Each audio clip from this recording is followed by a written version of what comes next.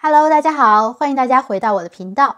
在过去的一百多年当中呢，有这样一种油，成为了家家户户最主要的烹饪用油。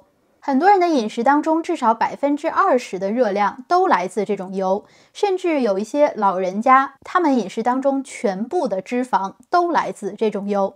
在我的频道当中，问的最多的评论也是：如果不用这种油，我要怎么炒菜呢？这种油就是精炼种子油，包括且不限于大豆油、葵花籽油、芥花油、棉花籽油、葡萄籽油、花生油、玉米油、菜籽油、红花籽油，还有米糠油。这些油是不是你的家人每天都在用的呢？但是我今天要告诉大家，这种油非常有害，可能已经在严重的损害你的健康。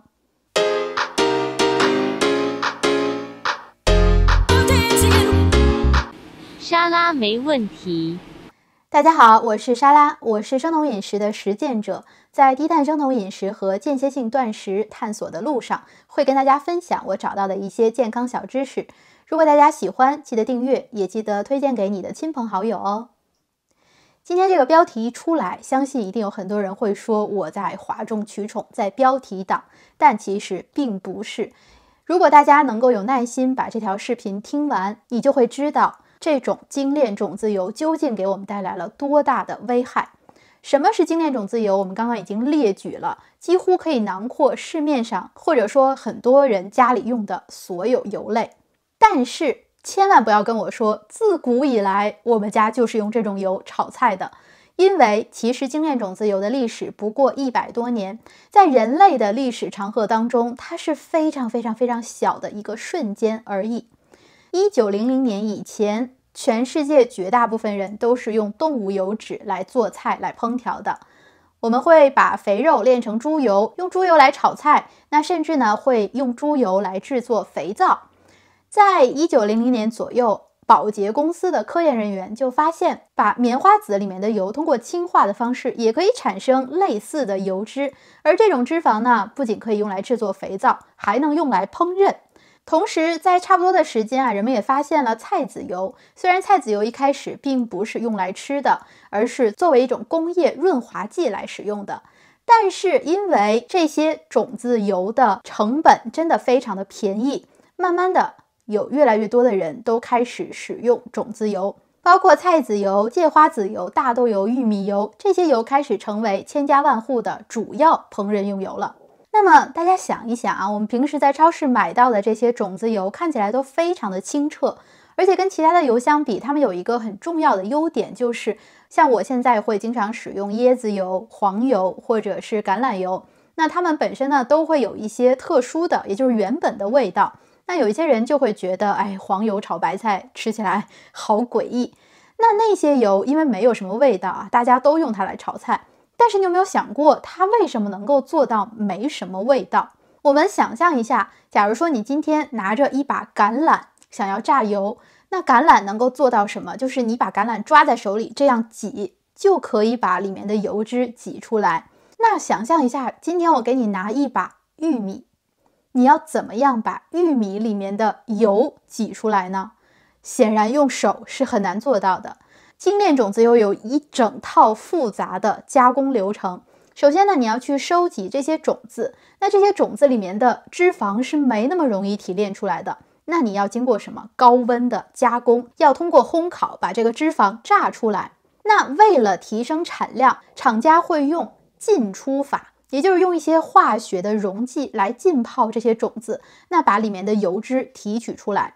也就是到这儿为止，我们的可怜的种子们已经经过了高温加热，又经过了化学试剂的浸泡，那还没有结束。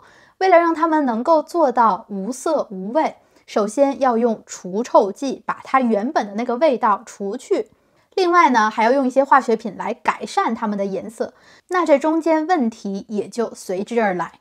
精炼种子油的危害有很多，但主要呢，第一个就是。种子，它们本身其实是含有非常多的 omega six 脂肪酸，一定要强调啊，omega six 和 omega three 脂肪酸是人体都需要的，没错。但是它们之间需要有一个平衡，我们追求的理想比例是一比一。但是在很多种子油当中都是大量存在 omega six，这个比例甚至可以达到七百比一。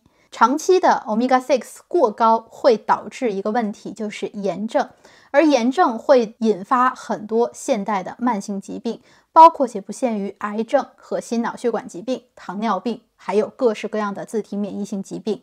所以 omega six 含量过高，这其实是你完全没办法避免的。种子的原罪，但是这还没有结束哦。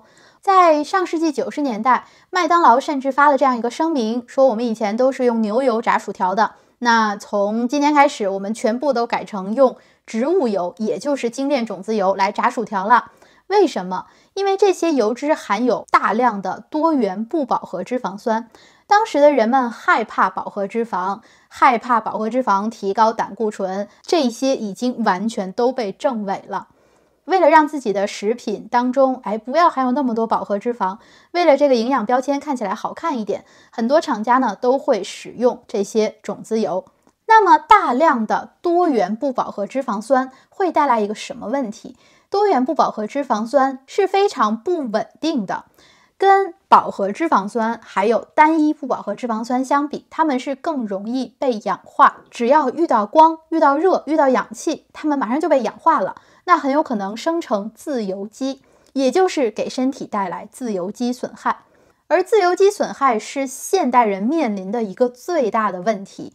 我们都知道，我们不要抽烟，不要喝酒，不要暴露在辐射之下，不要暴露在有害环境之下。其中一个非常重要的原因就是以上的这些行为会带来自由基损害。你现在每天在吃的精炼种子油，事实上也会带来自由基损害。自由基损害会给身体带来一系列疾病，包括白内障、动脉粥样硬化，还有肿瘤、癌症、糖尿病，还有一系列的胃肠道炎症、皮肤老化、骨质疏松、阿尔茨海默症和其他的精神系统疾病。那为了避免生成自由基，这些精炼种子油是不能用于高温烹饪的。哎，有人说，那我我自己不拿它高温烹饪，我拿它，比如说用来凉拌，不就没事了吗？如果你还记得，在刚刚讲到精炼种子油整个经历的过程的时候，其实它已经经过高温了，它已经经过有害化学添加剂的浸泡了。所以你如果在家里再去烹饪，是雪上加霜，会带来更多的自由基。那另外，这些有害的添加剂和高温还会让种子油生成第三个也是很严重的问题，就是反式脂肪。如果你去看精炼种子油的标签儿，会觉得很有意思。它的反式脂肪这里可能写的是零，但是在原材料这里你会看到反式脂肪的身影。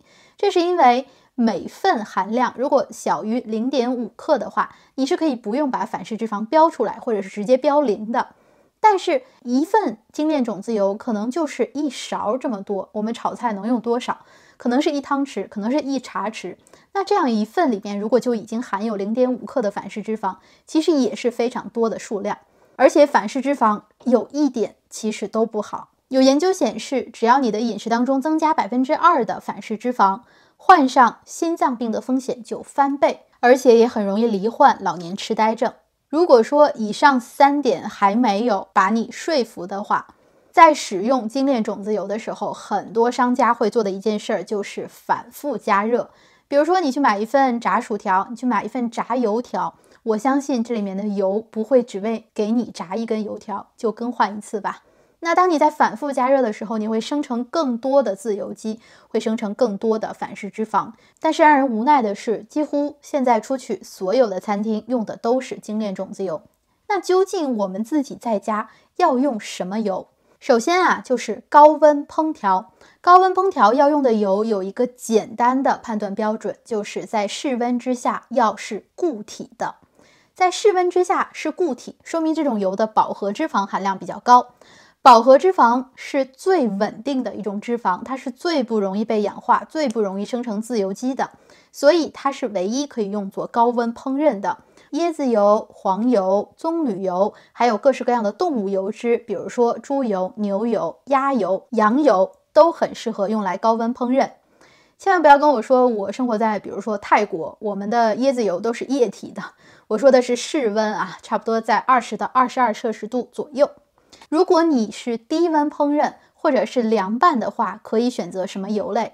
你可以选择单一不饱和脂肪酸更多的油类，也就是在室温之下是液体，但是单一不饱和脂肪酸没有那么容易被氧化。橄榄油、牛油果油、棕榈油还有山茶油都是可以选择的油类。以上呢就是今天视频的全部内容，希望今天的数据和资料对大家有用。我也会把参考文献放到下面的描述栏里。那我们下期节目再见啦，拜拜。